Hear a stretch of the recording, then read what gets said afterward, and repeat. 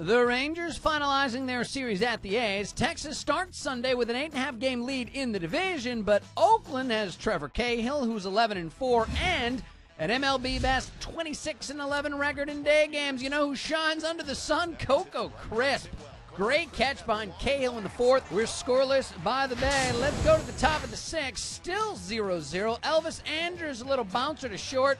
Cliff Pennington cannot handle it. They rule it E6. And as is often the case, it'll come back to bite the A's. Josh Hamilton lifts one into shallow left.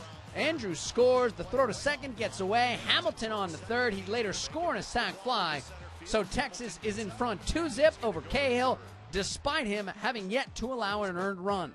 Meanwhile, he'll get some offense, though. In the bottom of the sixth, Kevin Kouzmanoff with a double. He'd later score in a sac fly to put Oakland on the board down 2 1. Ranger starter Colby Lewis well, after allowing the double, he comes back to strike out Matt Carson to get out of it. Lewis, six innings, just one earned run, three hits. He's up 2 1, and we go back to Cahill. In the seventh, strikes out Michael Young. It's still 2 1.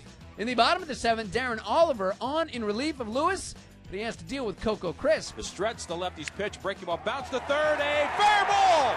It's by Michael Young and down the left field side. Pennington to third. Gallegos going to wave him home. Murphy's throw comes in. No relay. It's late by Young, and Pennington slides in safely, and the A's have tied the game at two. KTRB on the call as Crisp ties this ball game at 2 to 2, getting Cahill off the hook. In the same frame, he'll get the lead. Kurt Suzuki deep to center. Not deep enough to leave the yard, but deep enough to score a run via the sac fly. So Oakland in front 3 to 2, which is good news for Cahill. He has the lead and goes back out there in the eighth to deal with David Murphy. Here's the 3 2 to Murphy. Waved at a pitch in the dirt, and down he goes on an off speed pitch. And Cahill a shutdown inning.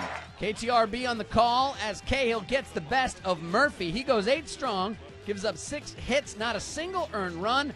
They turn it over to Michael Wuertz in the ninth, trying to save it for Cahill, facing a pinch hitting Vladimir Guerrero.